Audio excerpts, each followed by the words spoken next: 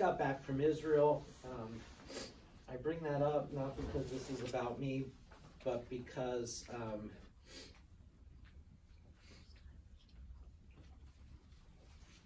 I went there not as a pilgrimage, but as a, um, an opportunity to meet with some with some high-ranking politicians and superior or Supreme Court judges and um, university professors, and it was right up my dad's alley.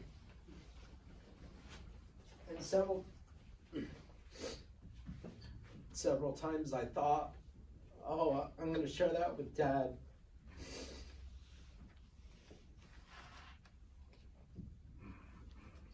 Um,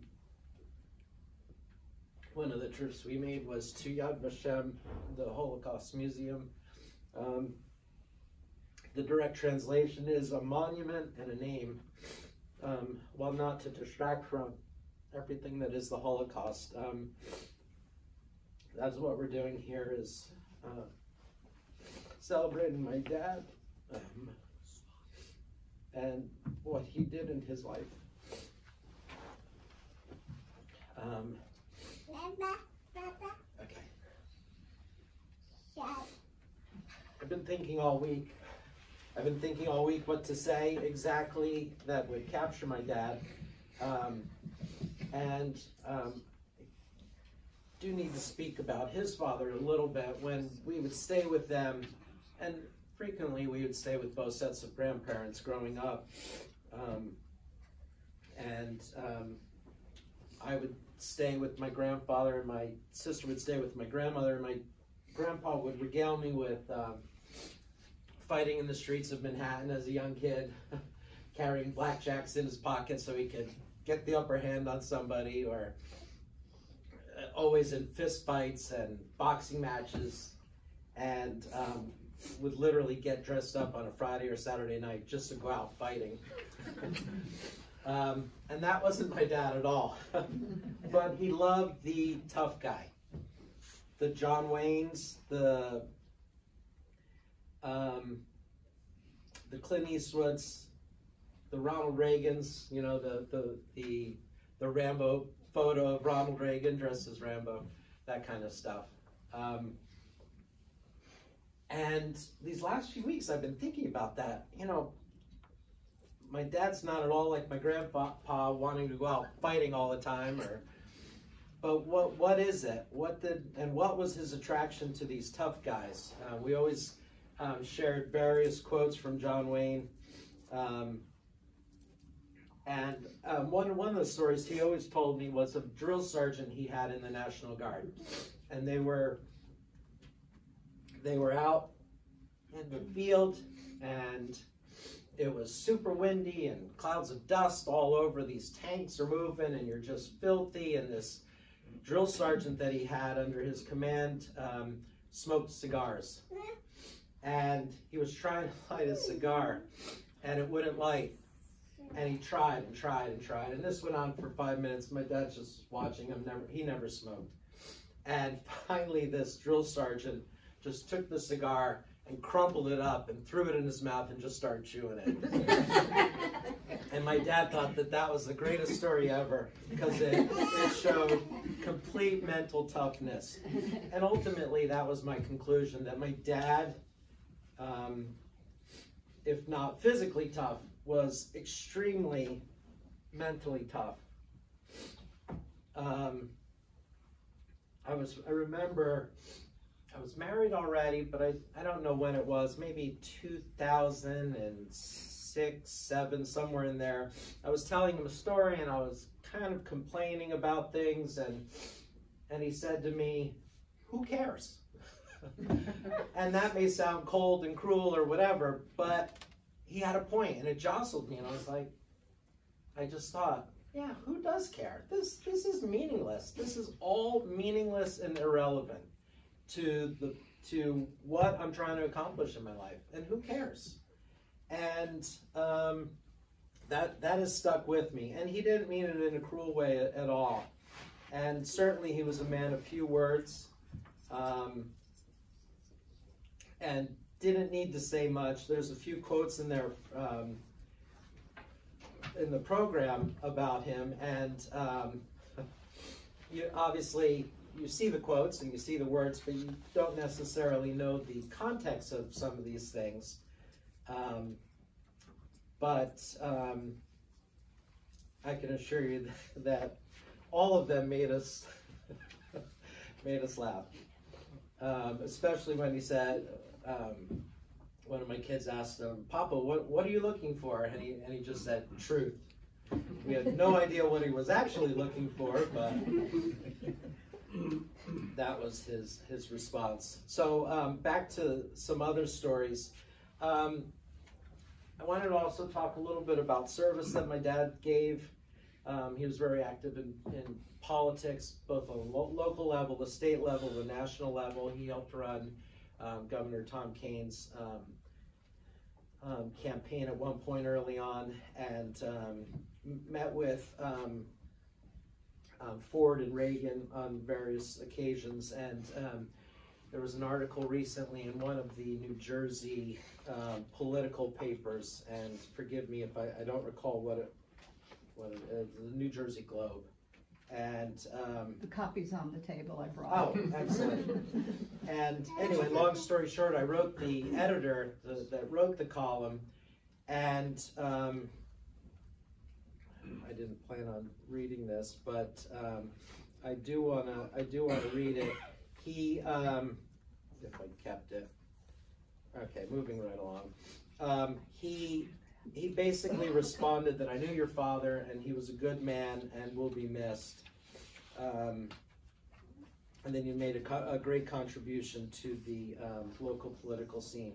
But my dad loved it. He loved the the um, the, discuss, the discussion of politics, the um, different views of politics, the arguments that were possible, the the drumming up plans for for various things, and um, and he was extremely mentally tough.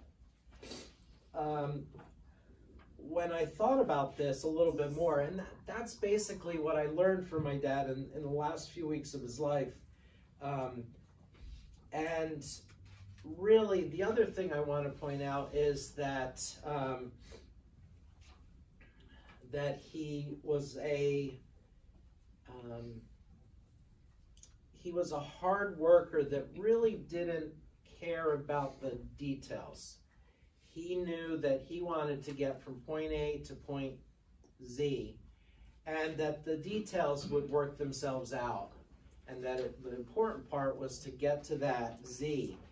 And not everybody agreed with him, often critiqued him for being visionary or whatever you'd like to call it, but that he um, that he needed to spend more time in the details and, and thinking things through. And I came across this is one of my more favorite quotes. I, I this was brought back to my mind. I, I think it really deals um, exactly how my, my dad's outlook was. Other people see things and say, why? But I dream of things that never were, and I say, why not? Um, quote is from the late great um, Irish playwright George Bernard Shaw, and um, and my dad understood that um, one's life um, can't really be um, as one of our apostles has said. Um, one's life therefore cannot be faith-filled and stress free simultaneously. Another prophet counseled us all about the mercy that is inherent in some adversity. The chastisements we have had from time to time have been for our good and are essential to learn wisdom and carry us through a school of experience we never could have passed through without. And I think that really is at the essence of why he didn't care about the details sometimes does not care about the details. That he was, he understood that um, whatever happens is for our good and our experience. And um, To quote one of our scriptures, if we are diligent and are believing, all things shall to get work together for our good. If you walk uprightly and remember the covenant you have covenanted um, one with another. So um, it um,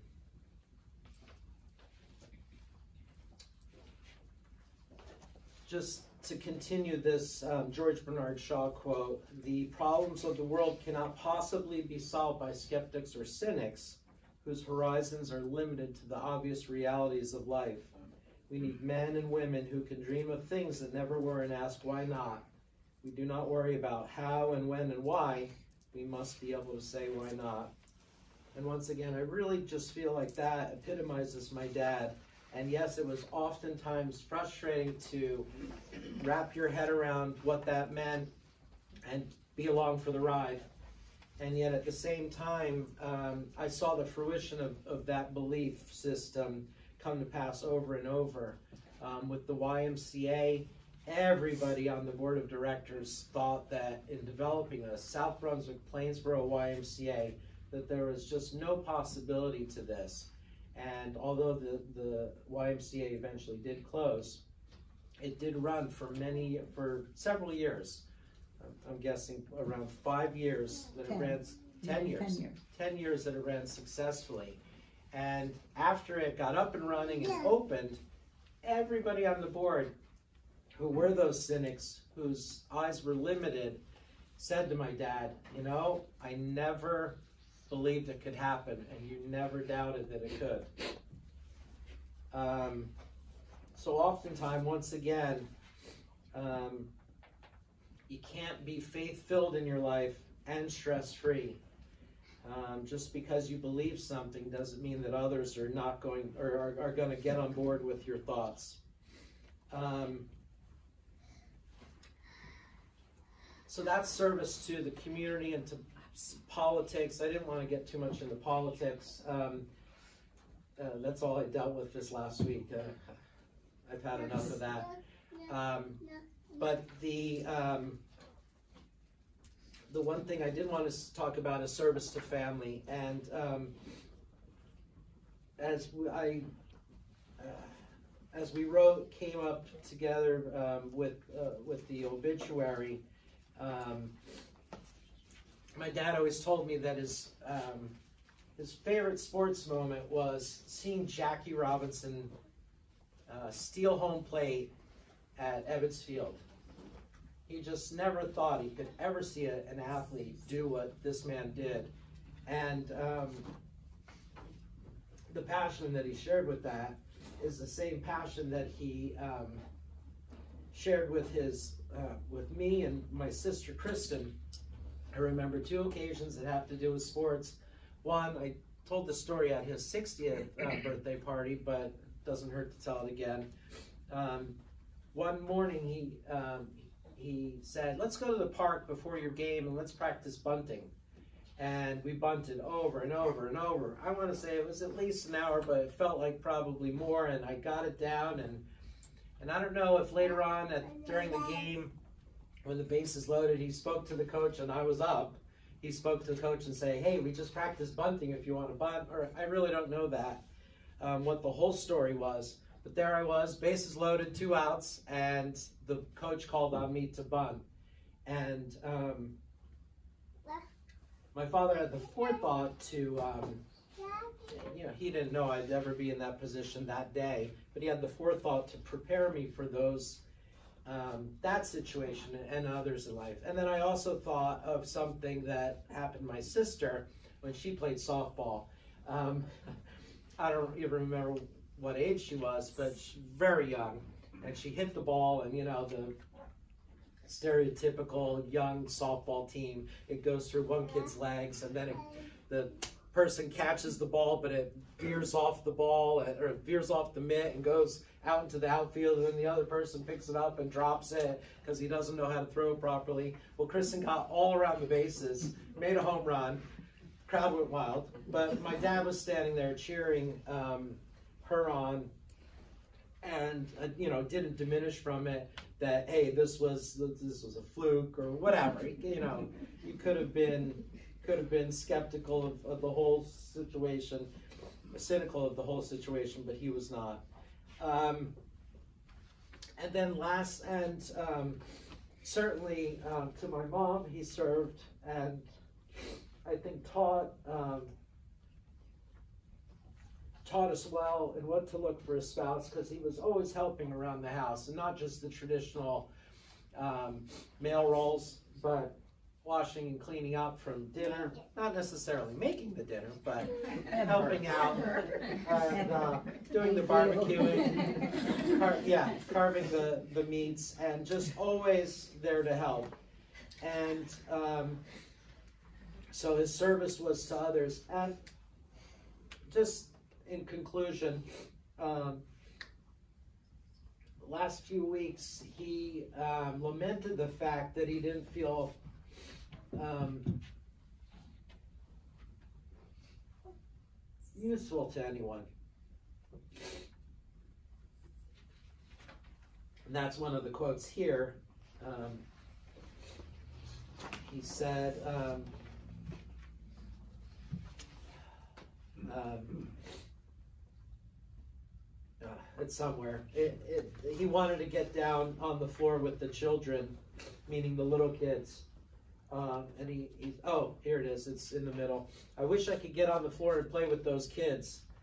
Um, referring to his great grandchildren. And um, he just kept saying, I wish I could help your mom. I wish I was doing something. I need to get up and do something.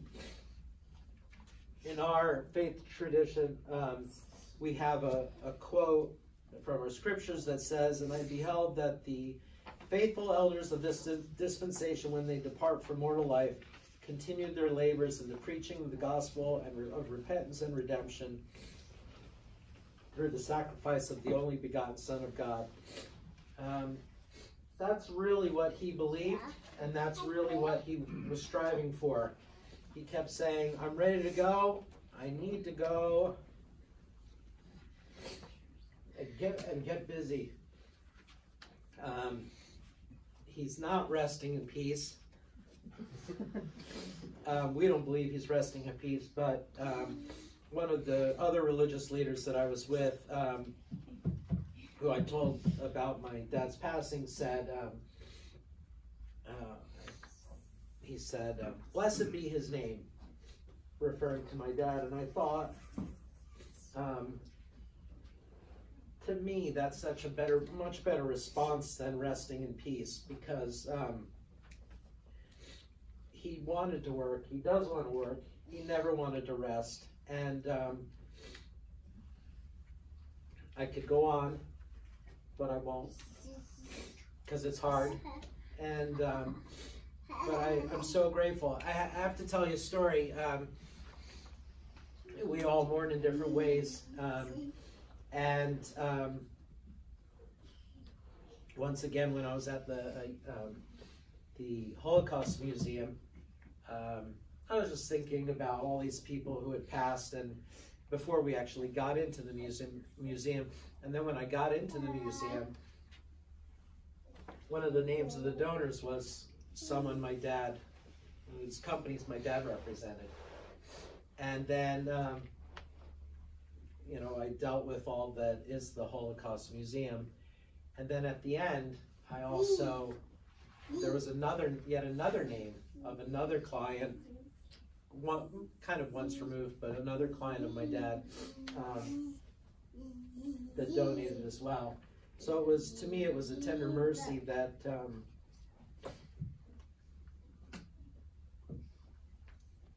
that in spite of not being able to share all these political stories and and um, things I learned about Israel because my dad my dad really loved Israel and their approach to things and protecting themselves um, from the various threats. But um, but it was a way for me to kind of have a tender mercy that you know he he was still along for the ride and um, could appreciate um, what I grew to love um, over this last week. And I'm so grateful for this time, and I'm very grateful for each of your attendance. And um, this is exactly what my dad wanted just something simple. He was never somebody, he was always behind the scenes, never wanted to be the focus of attention or, um, or uh, receive the praise that um, he wanted that for others. But I say this in Jesus' name, amen. amen. I just didn't bring myself to organize my thoughts. So sorry, Dad. You deserve better than my rambling. No, he doesn't. he loved your rambling. I can't tell if my tears are making me not see or I really need my glasses. I made the font bigger, hoping I can live without them. Um, when I first came home from the hospital when I was a baby, my like many babies, my internal clock was completely flipped, and I was awake all night and slept during the day. My dad stayed up with me at night, walking the hall with me so my mom could recover from her C-section. This was way back in the day when most dads didn't really do that kind of thing.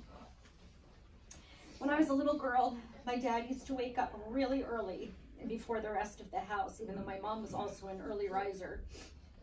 Um, my dad got up even earlier most of the time.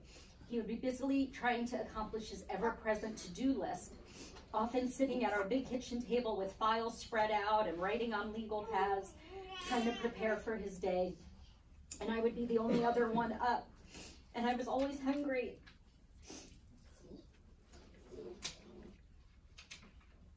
And he always had time for me to make me bread and butter, to tide me over until everyone else in the house was up. My dad built me this really cool, huge dollhouse that I loved. I remember him patiently running behind me, holding onto the back of my bike, encouraging me to pedal faster and ride on my own. Anyone who knows me knows I'm terrible at math, and I struggled with it throughout school.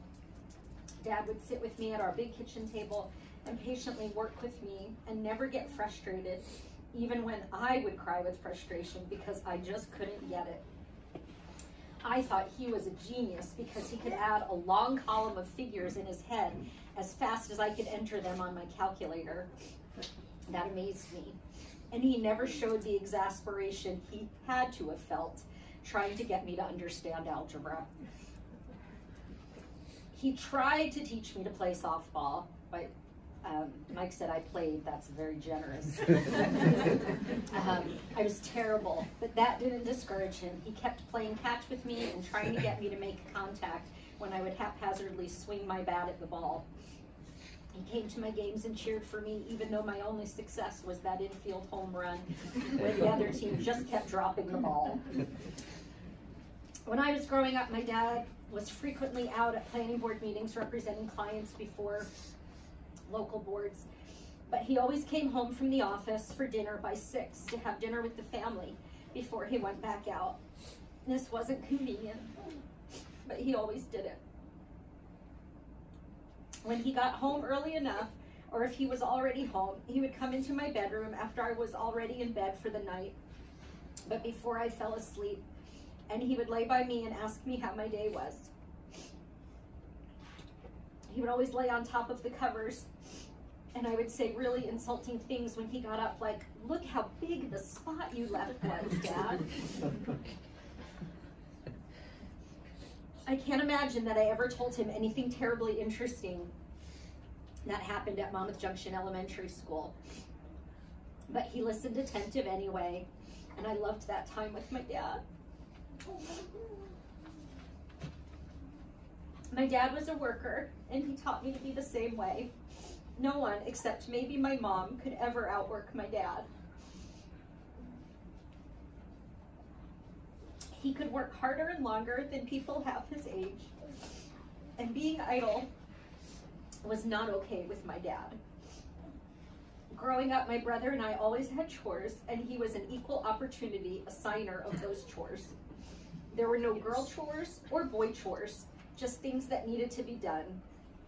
So I helped put in the insulation and worked in the garden and learned how to grout and caulk with dad. Most of all, my dad loved me unconditionally.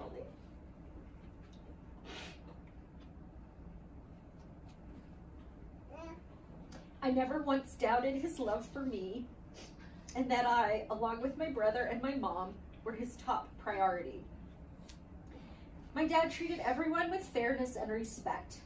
The worst thing I ever heard him say about someone was that they were a glue sniffer.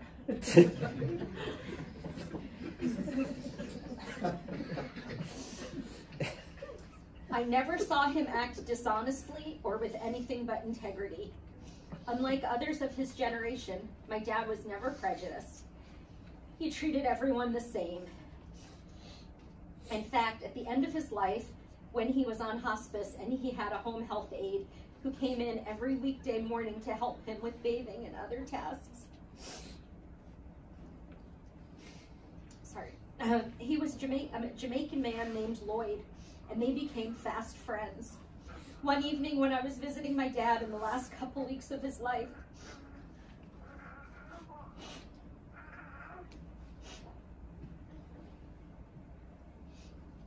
he was going in and out of making sense.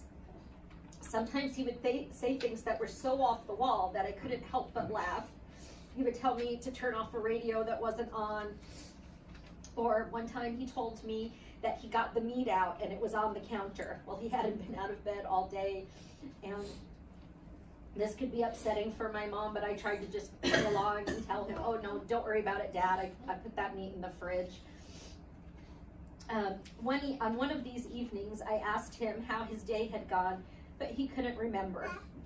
My mom filled in the gaps and said, Oh, remember, Andre? Um, Lloyd got you up and sat you in your chair. Um, remember, you had breakfast and Lloyd sat right next to you and you ate together? To which my dad responded, in all seriousness, Oh, that's right. I was just doing my part to fight segregation. uh, I didn't have the heart to tell him that, you know, that was many decades over. But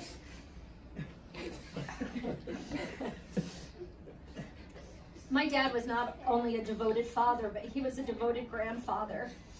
And he was an involved grandfather. I remember this one time, both boys were really sick at the same time and I can't remember exactly what was going on, um, where Joe was, or where my mom was, or where anybody else was. But the only person I could get a hold of was my dad. And um, Tyler was having, you know, the asthma where they need to go on the nebulizer. And I needed to take Austin to the doctor. And he left his office without even thinking about the people who he was going to disappoint there. And he came and he sat with Tyler and patiently held him, did his nebulizer while I took Austin to the doctor. But that was the kind of grandpa he was. As I looked back on, um, I guess it was the day after, maybe two days after he passed, Allie gave me this stack of pictures that was all um, him and Tyler together and I couldn't, I couldn't bear to look at them right then. But I've since taken the time to look at them, and I noticed in every one, my dad was looking at Tyler with such love and adoration and just smiling. And one of them, Tyler, was literally, and I mean literally, not figuratively, literally, sitting on his head. And he was just looking up at him, smiling. And Tyler did this funny thing where he would climb up him like a jungle gym and then just sit on him in the most contorted ways. Don't cry, Mom.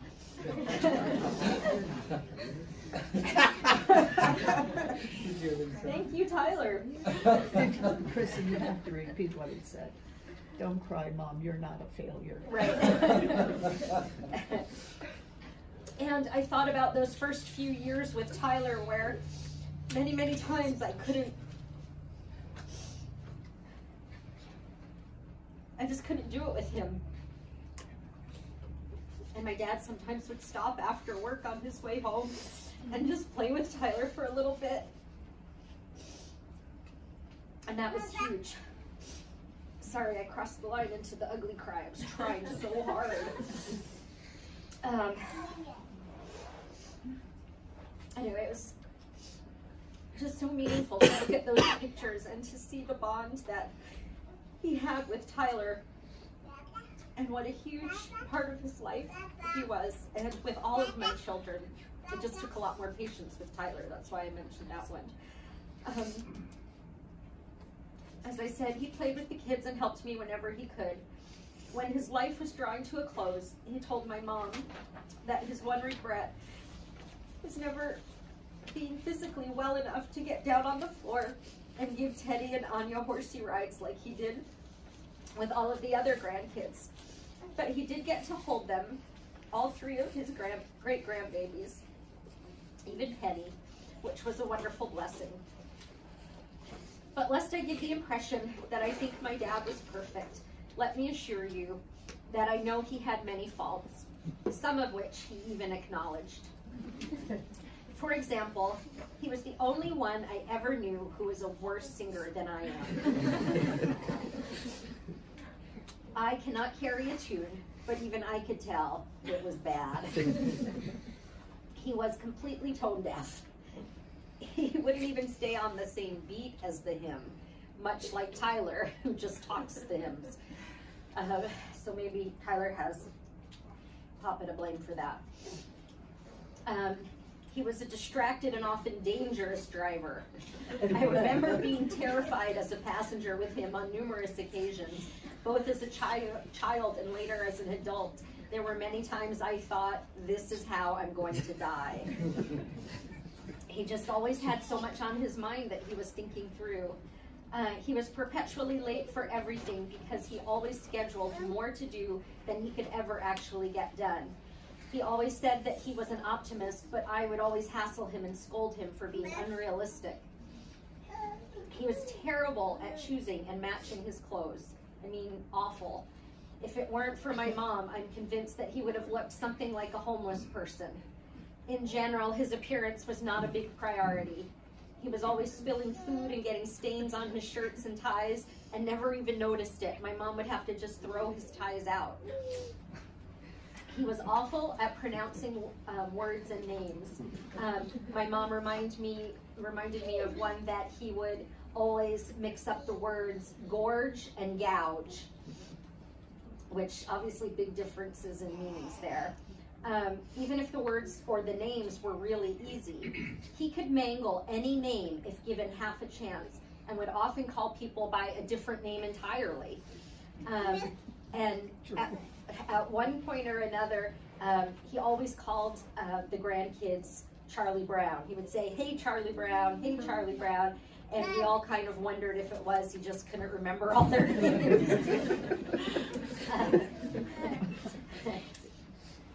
but like I said, words were tough for him too. Cayenne pepper was frequently called canine pepper.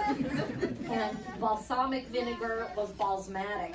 Where he got that, I don't know. Um, he really was the king of the malapropism.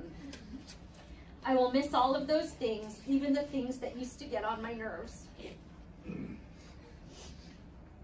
Most of all, I will miss his smile and his love.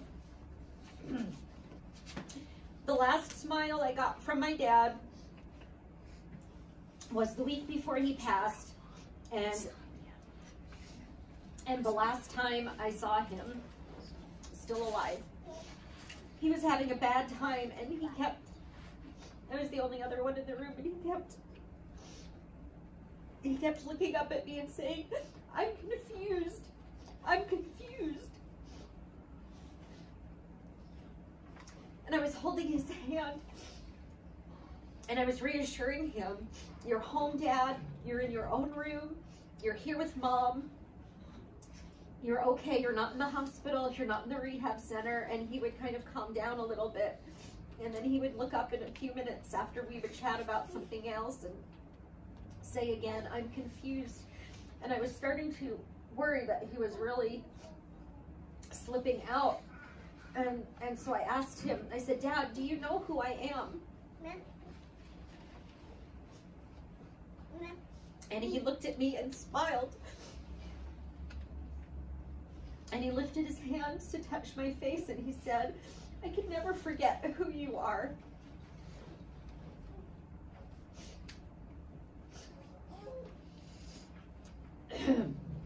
when Tyler was little, he was quite unmanageable, like I said. And sometimes I would put him in the car and take him for a ride in hopes that he would calm down. I would listen to this Amy Grant CD that I had while I was driving around because it seemed to calm us both down. And there's a song on that C CD that I hadn't thought of in years until my dad's passing, and it kept popping into my head over and over. And I've been listening to it on repeat in my head. And so I thought I'd share it with you. Just the beginning of one verse. Your smile lit up a room like a candle in the dark. It warmed me through and through. And I guess that I had dreamed we would never be apart. But that dream did not come true. Now, missing you is just a part of living. And missing you feels like a way of life. I'm living out the life that I've been given. But, Dad, I still wish you were here. No singing, just a little musical interlude. Sing in your head. yeah, you can sing in your head.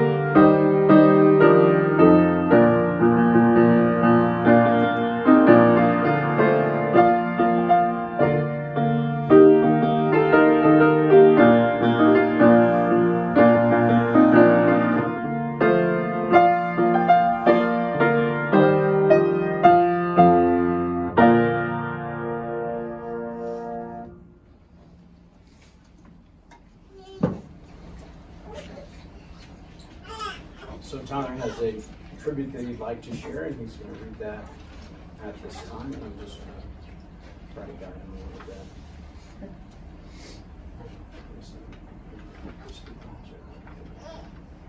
Can you still hear me there? I love my Andre group. I, I love my grandpa Andre. When I was a little boy, he let me climb on him. I would climb up his back and onto his shoulders and would hold onto his head. He didn't ever mind. He loved me no matter what, even though I was different from his other grandkids.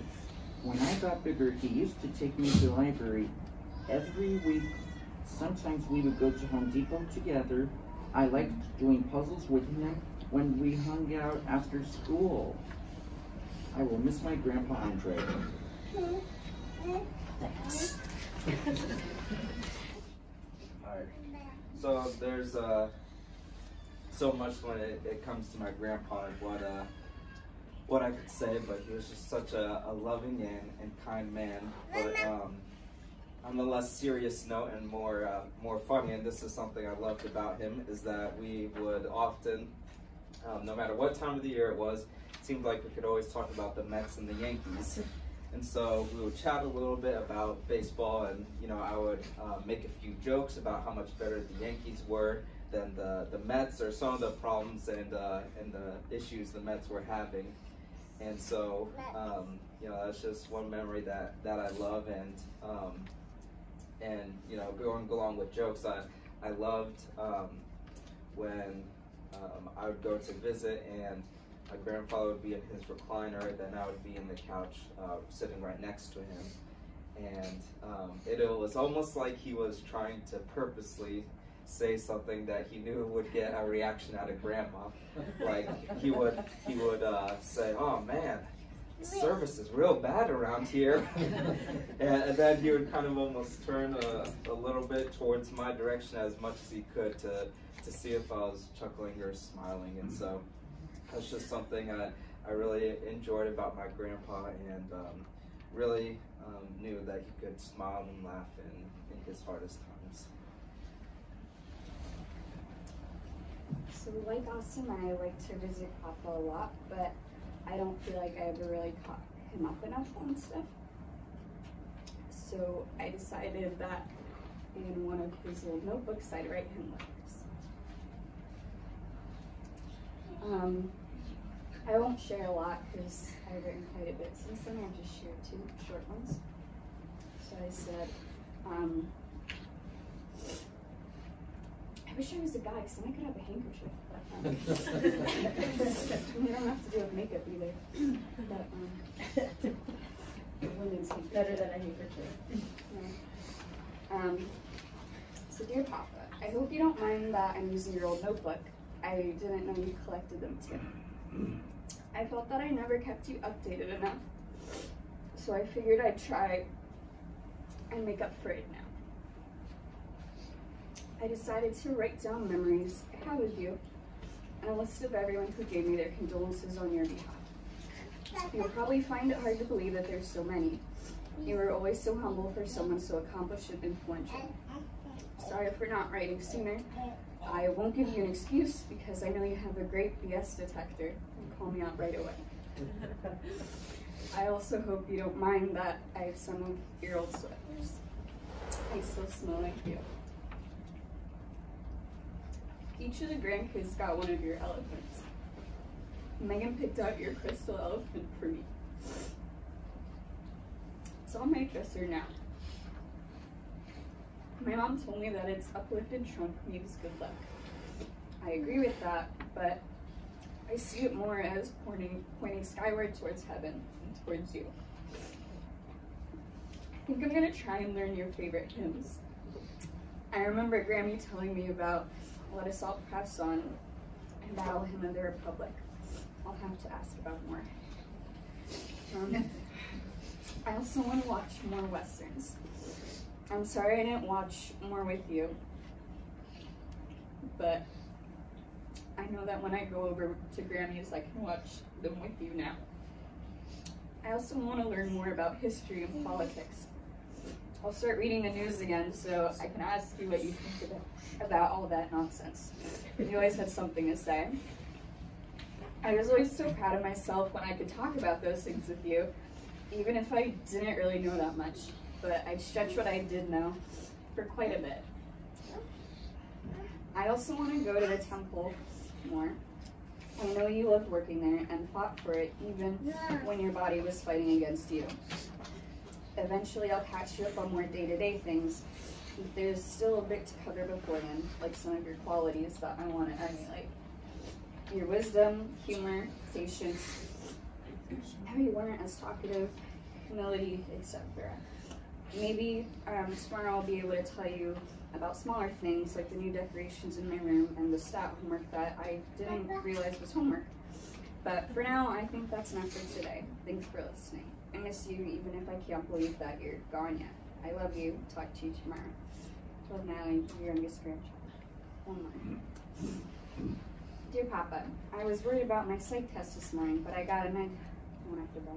Um, whenever I'm stressed out, but um, end up doing well, I think about the story you told me the day before I took the SAT.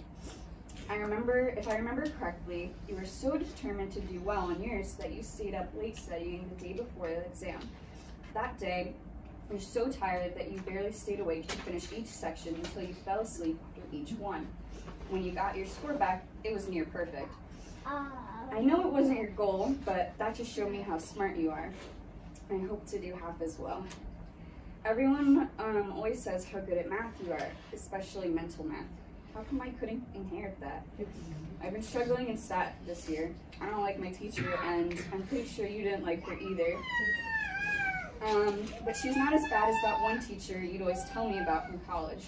The one with the insanely thick accent who talked about one thing while writing another thing on the board, and who erased one of the long blackboards as soon as he finished the second one. I'm trying to remember what you said the highest final grade was. 26 or something? I remember not being able to believe it. That doesn't give me a lot of confidence for college, but I know you have enough for the two of us. My mom told me that a couple of days mm. be- before, you told Grammy that you had to go pick me up. From where? Natalie drives herself now. I have to take her to Massachusetts. Mm. Why? She has to get to college. I'm flattered that you remember that I got into one of the schools up there and you think that I could go there. Um, so I'll leave it at that for the letter right now, but I know that if I'm able to have half the confidence in myself that he had in me, that I'll be able to do this fine. So I'll leave it at that and um, talk to you tomorrow about that. It's,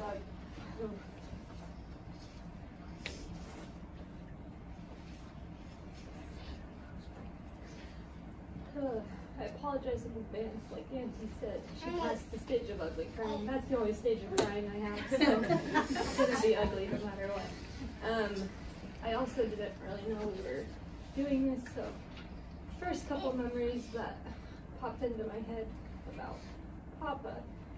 Um,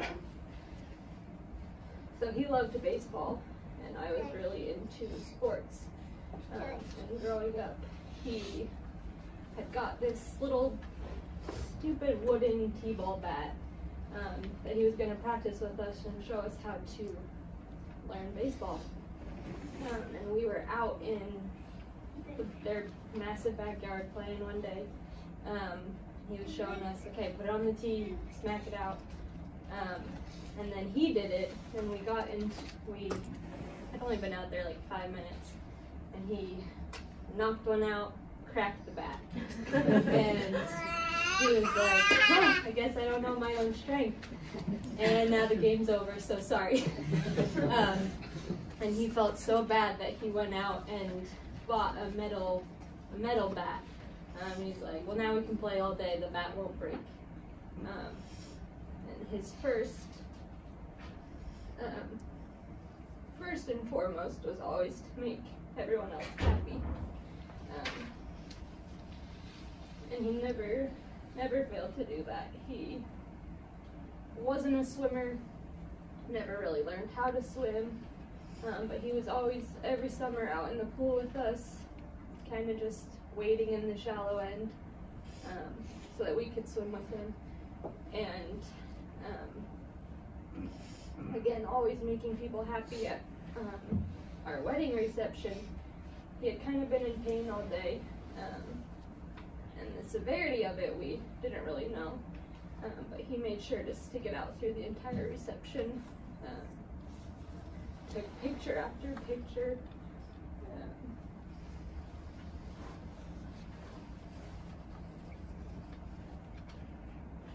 oh, sorry, just so he could be there. Um, and the following day, he was in the hospital. and He said, "Yeah, I wasn't in too much pain." Um, it just goes to show the strength he had and the um, desire to make those around him happy. Um, and just one more Ben wanted me to share um, was at our um, sealing we all know he couldn't say very many names and um, struggled with everything. So my husband has a very long Hawaiian middle name.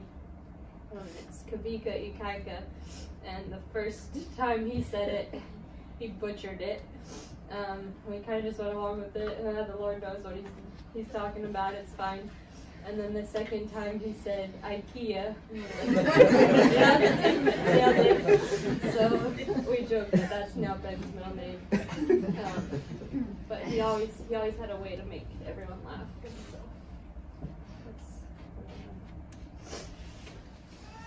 Um, what- as soon as you get up here, it's like, um,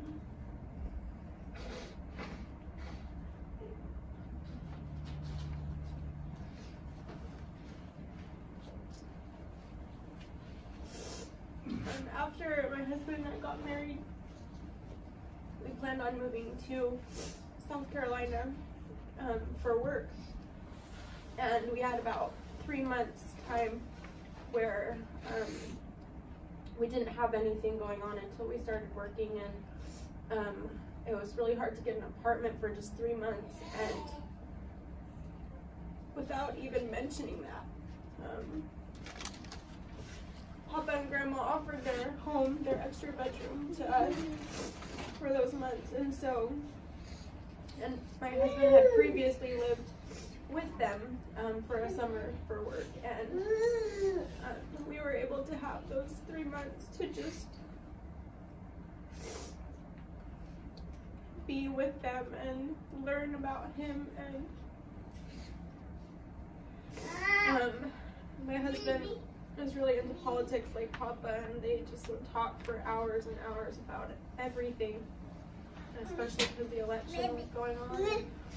Um, and then a couple years later, when I was pregnant, um, I was extremely sick just every day. And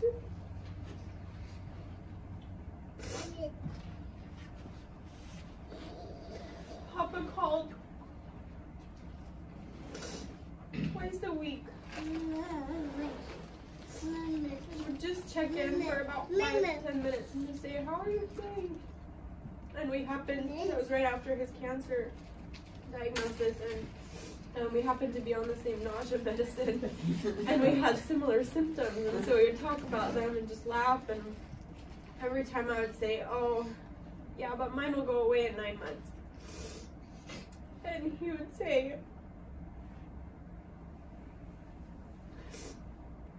you're more important my pain isn't that and um, that's who he was. He put everyone else first. And he would undermine his own pain and suffering to make others feel like they were more important. Um, there's so many memories that we each have with Papa, and um, I'm just really grateful for them. Um, the Papa died on Tuesday, and that Sunday, I called to FaceTime Grandma um, in hopes that Papa would be lucid enough, and um, so we talked for a while, and Grandma told me that um, this was pretty much it. And so she said, I don't want anyone to rush home or feel like they have to come. Um, and luckily we live in Michigan, and so it's just a 10 hour drive. Um, and after we hung up, my husband said we need to go home and say our goodbyes.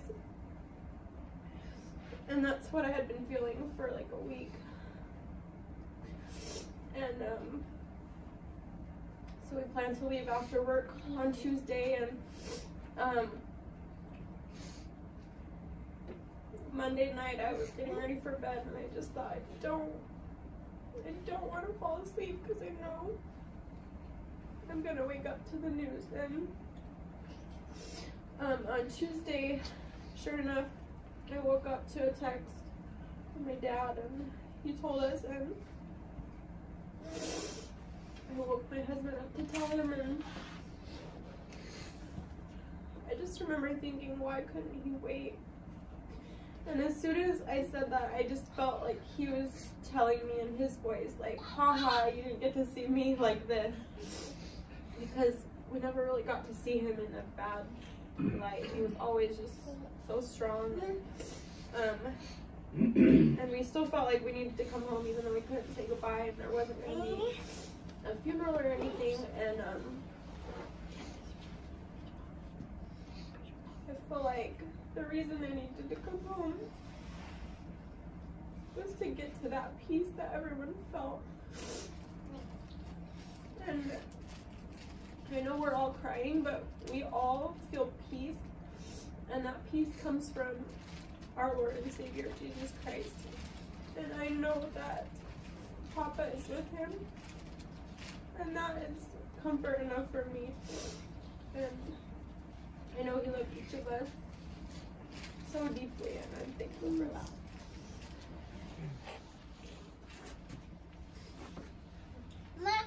Um,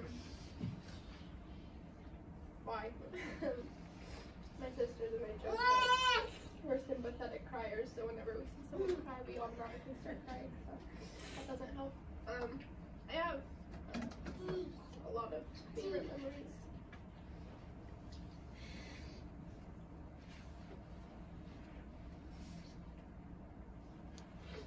about Papa. Um, but the weeks leading up to when he passed, I went with my dad to give him the sacrament, to give him and grandma the sacrament. And one week particularly, it was the, I think it was the week before he passed. Um, he was laying in his bed and we went in there. And my dad had already given him the sacrament, so I waited a little bit to go in there um, because it was hard for me to see him like that. And as soon as I walk in, he lit up and said, Megan! And um, Grandma said that was the happiest he'd seen. She'd see him all day. And um, he never ever failed to show us how much he loved us. And he always made it known. And every time um, I would say bye to him, I would say, I love you, Papa. And he said, and I love you. And would give me a kiss on the head. And um, he was a very loving man and never had a bad thing to say about anyone and I never saw him mad. He was always happy even when he was in pain. Um, but another memory I have is uh, when they lived, when Grandma and Papa lived with us. Um, I would be getting ready for school and I would sit and be eating my breakfast and I would do a puzzle and he would come and sit down next to me and start building puzzle with me and watch whatever I was watching and um, just to have that time together was really nice and to you know we didn't have to be talking we didn't have to always be talking we could just sit in silence and that was enough for both of us um, and um, I would always sit on his lap in the morning with him eating breakfast. He would have a bowl of fiber one with blueberries on it, and I would sit on his lap and eat all the blueberries because that was the best part. Fiber one is best. I'm sorry if you like it. Um, but I would the blueberries out of it. Um, and they're my favorite, one of my favorite fruits that I get from Papa. But um, he was very loving and um, a generous person and I'll miss him very much, but I know that he is where he needs to be and doing the work.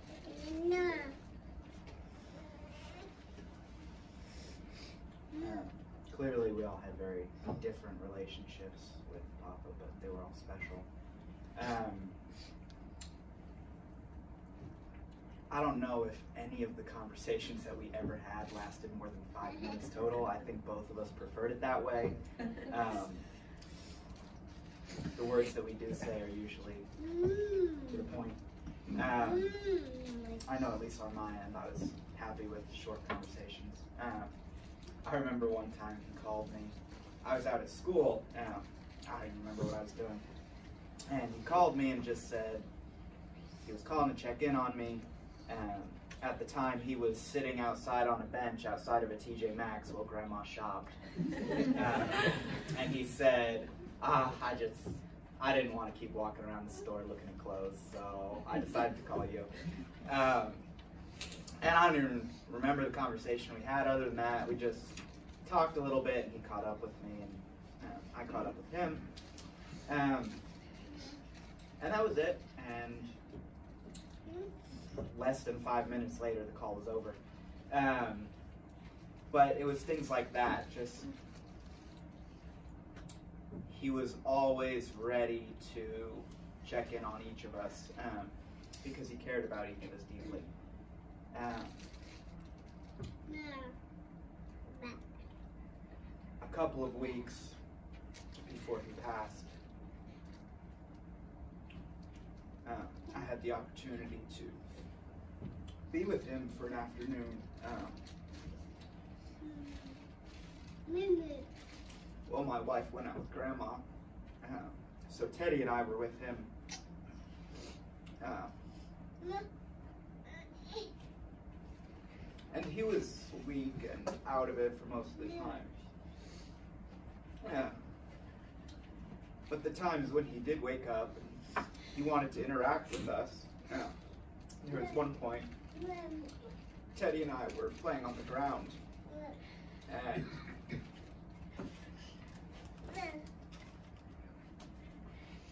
he looked down and he just said, I can't get down and play.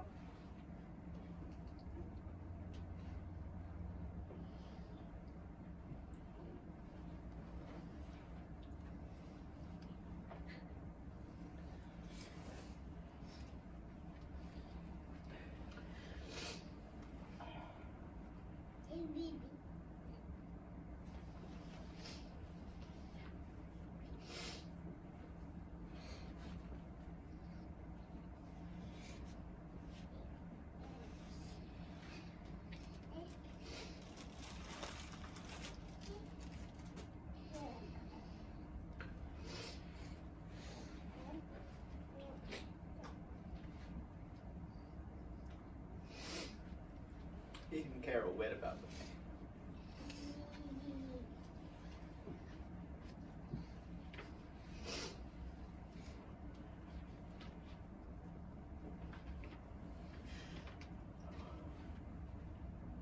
He only cared about his grandkids.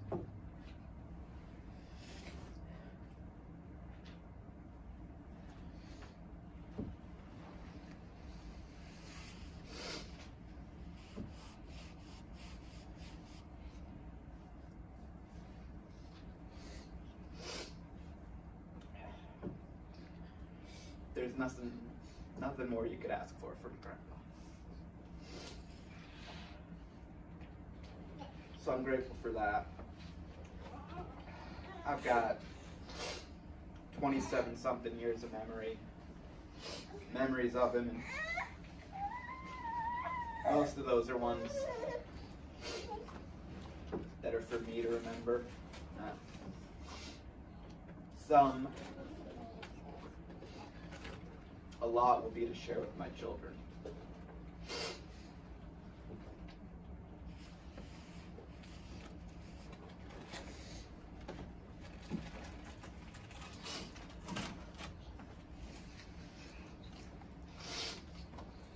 because they're still young enough, they probably won't remember him vividly. But I know they had a relationship with him. Morning that he passed,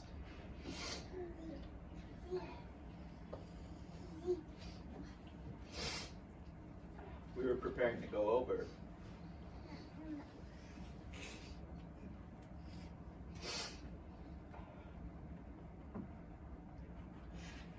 and we talked with Teddy about, you know, we're gonna go over to Grandma's house.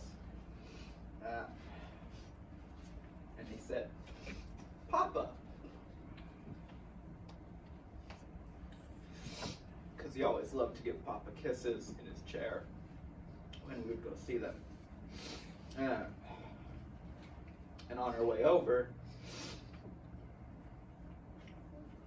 we have to pass right by their old house on Friendship Road to get there. I've never made mention to Teddy that that was their old house.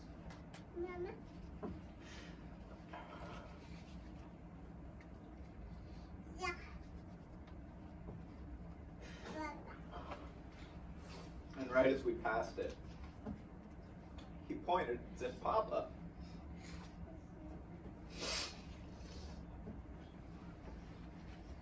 And that for me was a special moment just to know that he's there and he loves all of us. And even though he's not here with us physically, we all get those special memories that we had with him to remember him and the lessons that he taught us and the love that he had to give us because of everything else.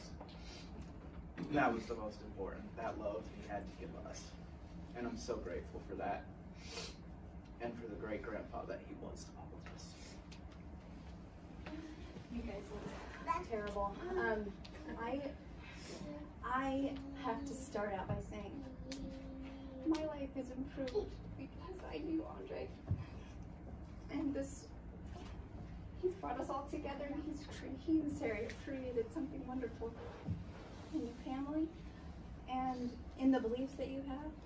And I too used to get phone calls from Andre while he was sitting at TJ Maxx waiting for Sarah. But mine always would always go, Hi Jan, this is Andre. After saying, I, I would always say, Hi Andre, and he'd go, Hi Jan, it's Andre.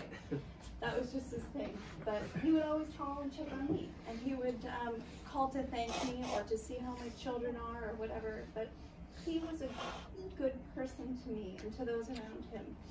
Um, I never did hear him say anything ill of anyone else. Um, I do know that whatever he touched was with gentleness and kindness.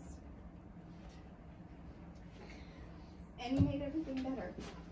And I am thankful that my children knew him because their grandparents are like a zillion years away from here. And so my Lucy doesn't know a life without Pop because there's there's only one Papa. That's what she used to say. And um, unfortunately, Lucy's at home sick, so she's not here to um, pay tribute. But I do want to say that I know that they love him and everything that he did for them because he cared about them.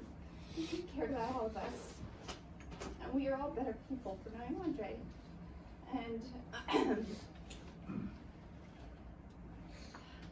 may we all take the lessons and examples that he gave us and become the better people that we know we can, that he knows that we can be. As he was, you know, I was with him um, the day before and a couple days before, and I was just standing there talking to me. And as he was talking to me, laying in this bed, he looked at me and he goes, What am I doing here? And I said, I know, Andre, just hang in there. There's part of the plan is enduring to the end. And he was like, Yeah, but this stinks. And I'm like, Yeah, enduring stinks because life isn't easy. And I said, Maybe this is this is part of your work. And he said, Then I'll do it. And I said to myself, I'm like, okay, I have no idea what he's going through, but whatever I'm going through, I can do it too, and we can all do it. And I'm thankful for that example. And I'm thankful for Andre. I knew we'd be sharing um, some sad moments, but I also wanted to share some some um, some funny stories as well. So I, I met Andre probably about 35 years ago or so. Um, I can't remember exactly when it was. It was in, uh, in 1987 um, when I was serving there as, uh, as a missionary. And he was the, the bishop of this ward.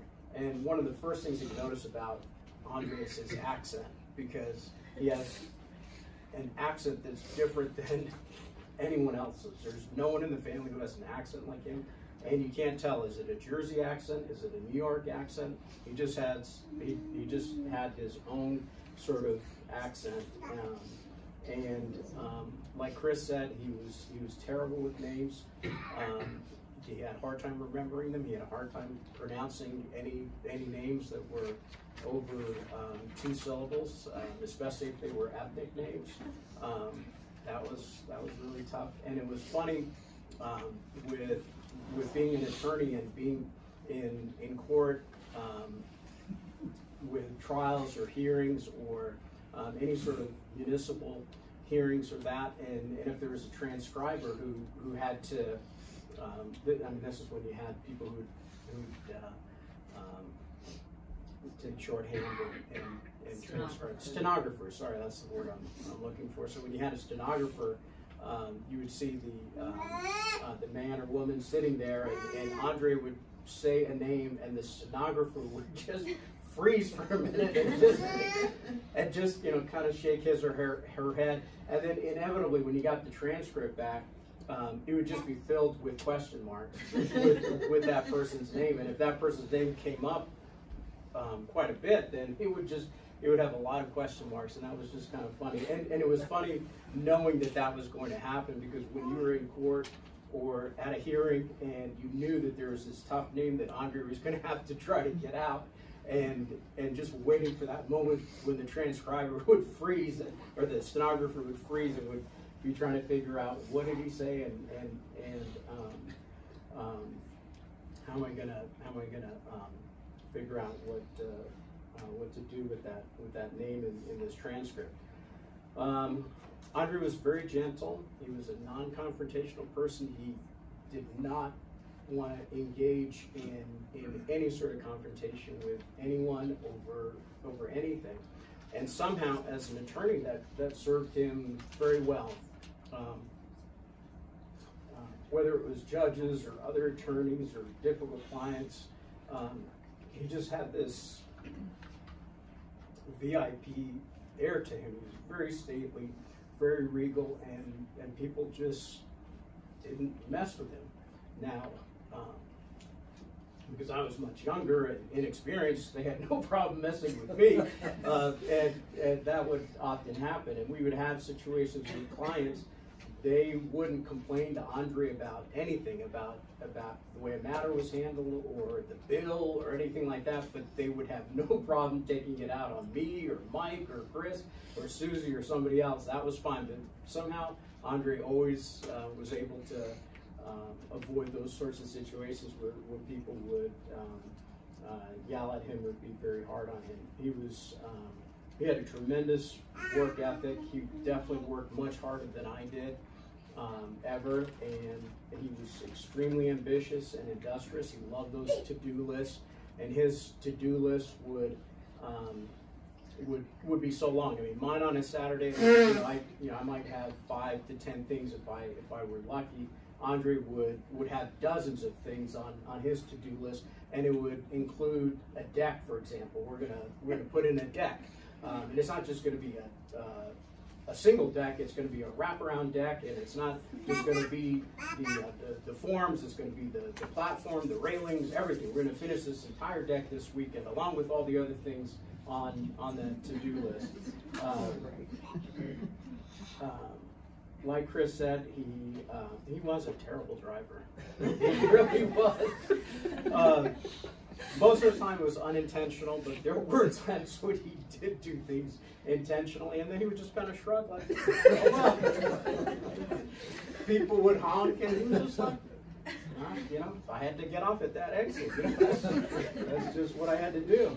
Um, and um, of course, being in New Jersey, you get horns, you get you get um, gesticulations, you get uh, you know hands uh, out the window, you know whatever. Uh, um, now, Andre's driving was so bad that somehow he even managed to crash into the garage door um, multiple times. So he'd be in the in the garage, um, and and he would um, forget that he hadn't he hadn't um, raised the uh, the garage door. So so usually his habit was as he was going out, he would he would hit the button on the on the on the wall, and the garage door would come up. But oftentimes. Um, or at least sometimes he would forget to do that, and then he'd get in his car, start it up, and then back into the garage door.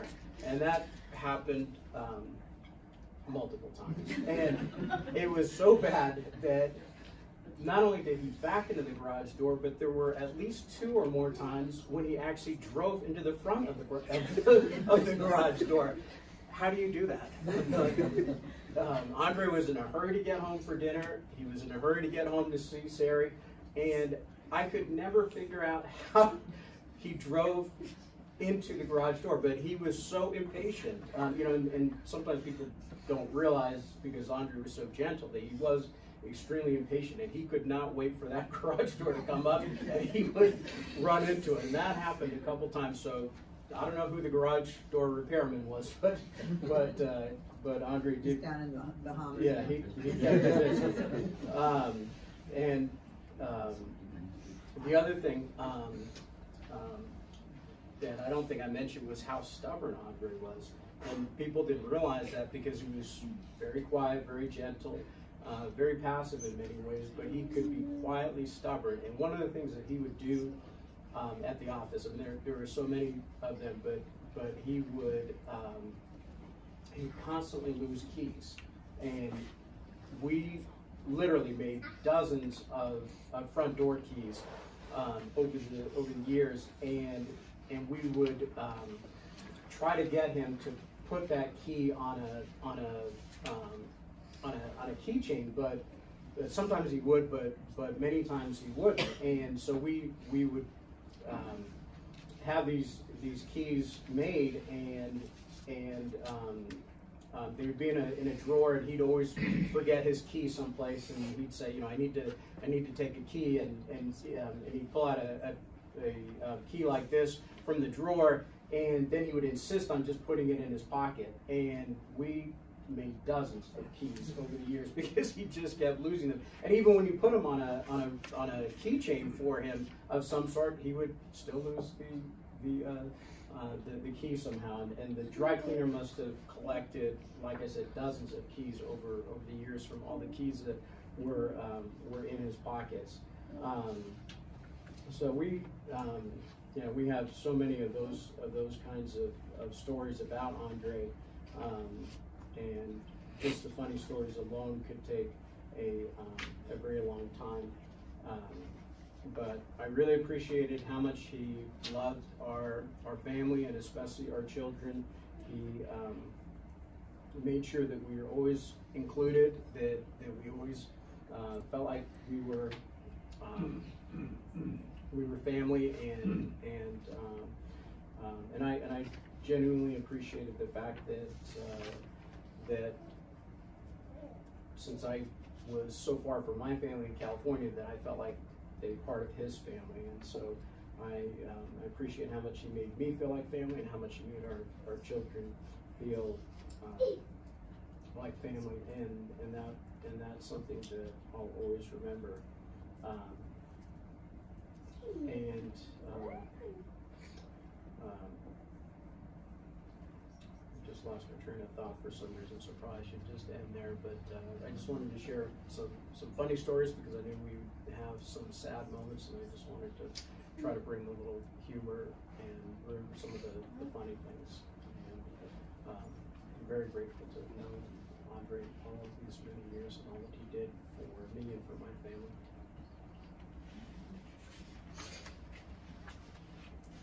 This is one of those that he wanted to get down on the floor and play with. And as you've watched her today, you've seen she's been very busy and um, he would just watch the kids as they would run past him um, as he would sit in his recliner chair. And Sari has a glass tabletop coffee table and fingerprints licking the table. You know, that's, and she would leave it there because that was signs of, of the grandbabies being there.